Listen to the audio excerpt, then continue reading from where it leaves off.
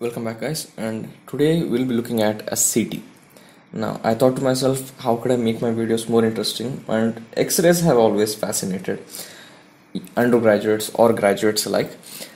So I thought let's do a video about CT and today I got a pretty good CT it's a 16 slice CT scan of the head.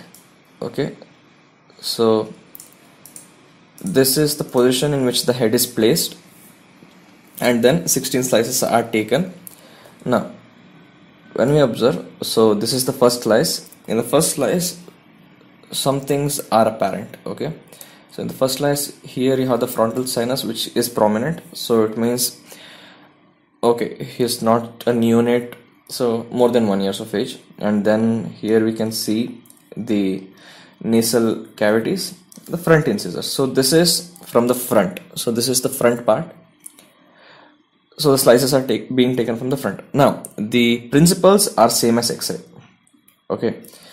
If anything is dark that is air. So things like this will be air soft tissue and hard tissue. So it's pretty much similar to how you would be reading an x-ray. In the second slide slice here we start to see some amount of extra growth. So it can be a turbinate but again here you have the nasal septum deviating. Okay? So if you see that the nasal septum is deviating towards the right. And again more teeth are showing so come a little back. Now again something can be made out in the frontal sinus over here. Okay so there is something frontal sinus is supposed to contain entirely air but you can see some amount of mass. So when we go a little further here you can see a mass again a mass. Now the mass from this we can interpret is huge. It's a huge mass and it's non-homogeneous. Okay because it has some amount of white white this white white patches in it which means either it's becoming more harder because of deposition of more calcified or mineralized what but some hard tissue is being deposited at that site. Okay? Now again here we can see that yes it is pretty encapsulated and it's still having that non-homogeneity. And one more thing you can notice is look at the eye position in this orbit. The eye position is here and here it's pushed to the margin. Okay? Remove my drawings so you can notice it properly. The eyes in the orbits have been pushed to the margins. Okay? See how clearly the mass has again it has infiltrated deeply into the nose and the septum here has been deviated extremely.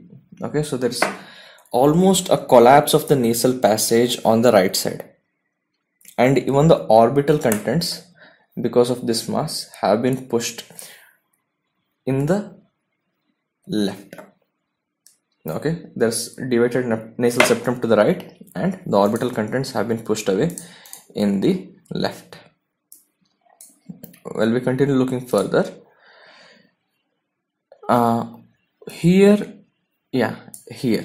Here you can see a clear rim around the mass. Okay there's a rim like this a clear rim around the mass is clearly visible at this point. It states what? It states that it's well encapsulated. Okay, it's a mass, it's non-homogeneous and it's well encapsulated. You can see that more clearly. And one more thing which you will be able to notice is it is you see this bone it is attached to that bone. Okay? Uh, it's not very clear if it's bone arising. For that you would have to do a biopsy. But from this we can clearly make out that it is well attached to that bone or it is a part or extension of that bone. So it has something to do with the bone. Either it's firmly attached okay? So either it's firmly attached or it's an extension of the bone okay.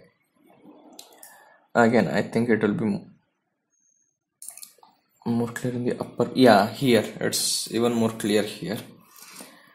See it's well encapsulated and the capsule is in contact with the bone.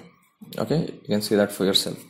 The capsule is in contact with the bone which means either it's an extension or it's fixed to it and again uh, these are all normal uh, slices. Yeah these are all normal slices. So in whole this was the CT that we saw. From this what can we make out? We can make out that one it's a non homogeneous mass second it is well encapsulated. If it's well encapsulated and it's a mass there's a high chance that it's benign. So it's a benign tumor. It's a non-homogeneous mass. It's showing a bit amount of calcification. We'll assume it's calcification. And then it has something to do with bone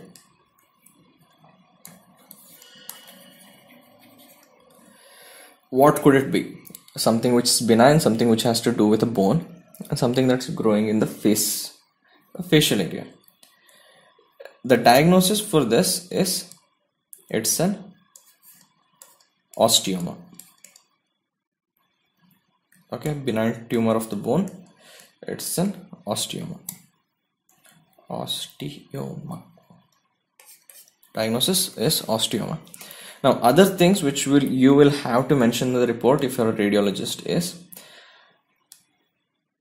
the deviated nasal septum. You would have to mention the DNS so we also have DNS to the right and compression of orbital contents in the left. Plus you have a major mass that is the osteoma so all the other things that are described about the osteoma should also be encapsulated so hope you guys enjoyed the video i'll see you in my next one Thanks for watching. Subscribe for more. Take care. Bye.